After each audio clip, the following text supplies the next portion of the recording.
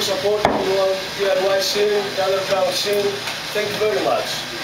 Thank you. It's a very small town, and first time in my life I see city with 10,000 people has three, three DIY places. no, I, I, I haven't not seen it. No more in Greece, I haven't seen it in other countries, I haven't We won't see it anywhere. So, we're, we're going to play one more. Thank you for coming.